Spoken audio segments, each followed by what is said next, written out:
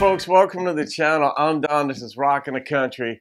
I've got a gift request today, and this is this kind of stuff is fun. I don't know. I like nuance, and this nuance here. Jason Halverson made a gift to the channel for me to do one of Merle's songs. You saw it. What have you got planned tonight, Diana?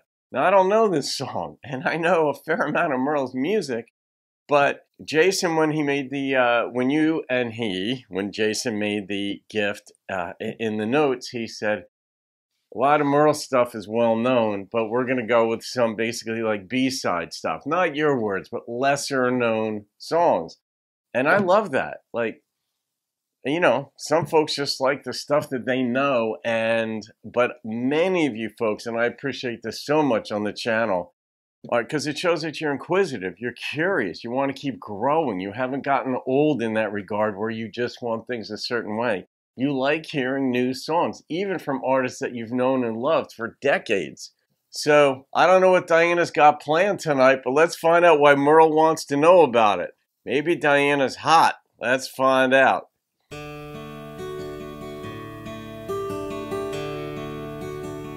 Had a Mama Tried feel initially.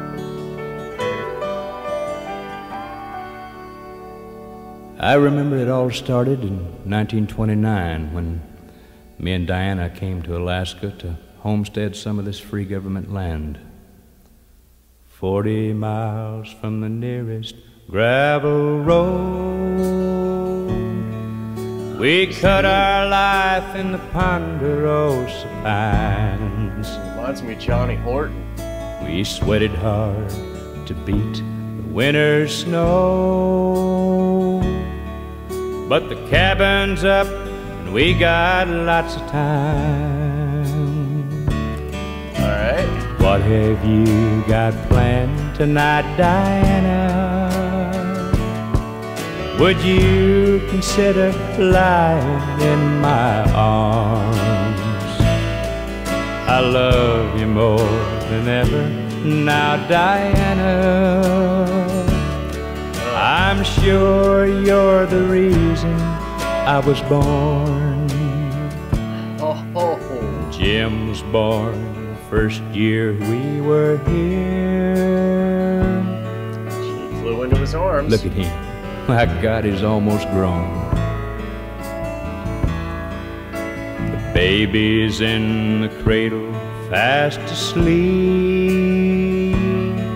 Just thinking no time he'll be up and gone. What a voice. What have you got planned tonight, Diana? Would you consider lying in my arms? I love you more than ever now, Diana. I'm sure you're the reason I was born. What a beautiful thought. Well, time sure does fly, doesn't it, Dinah? It's been almost two years now since since you've been gone. Speaking of time, I guess you know that uh, mine's about up. I'm going to see you tonight. Just another breath or two, and I'll be home. By the way, what have you got planned tonight, Diana? Would you consider? So she passed away, and now he's about to pass away. All right, I didn't see that coming because Merle's voice is so strong here. I just picture the eh, the character singing the song being young. You know, they just had newborns. We didn't get the intermediate stuff. Did they die old? Did they get a tuberculosis? I mean, what happened? Why why did she die? But this is just about he's about to pass away, and the implication he's going to meet her in heaven. What has she got planned for him tonight? Oh, that, I like the way that's presented. I never thought of it that way. If you meet somebody, do they have? If there is a heaven, the way we conceptualize it, do they have something planned for us that night? Huh? in my arms. I love you more than ever now, Diana. Oh, it's over. I'm sure you're the reason I was born. Oh, he, there are, that's beautiful. There were two things in there that I've never heard in a song before. Well, one I've never heard in a song before, which is the lyric, I'm sure you're the reason I was born. Man, that put, that's just beautiful. That could go into any wedding song. But the other thing is a concept I'd never thought of before, which you heard me sort of effervescing about toward the end of the song, which is that if heaven is as we conceptualize it, many do, like, okay, you die and then somehow your spirit or some soul, whatever we want to call it, floats up, goes somewhere to some land.